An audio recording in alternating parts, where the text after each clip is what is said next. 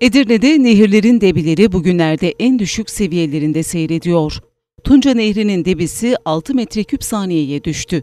Su seviyesinin düşmesiyle birlikte nehrin yüzeyi yosunla kaplandı.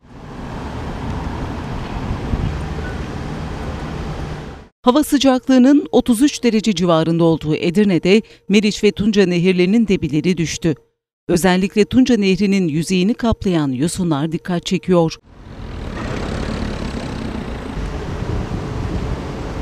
Bir kısmının yosunla kaplandığı Tunca Nehri'nde bazı yerlerde ise suyun azalmasından dolayı büyüyen otlar ve çöpler göze çarpıyor.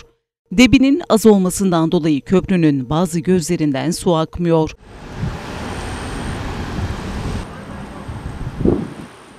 Çevre sakinleri Tunca Nehri'nde bir an önce temizlik çalışmasının yapılması gerektiğini belirttiler.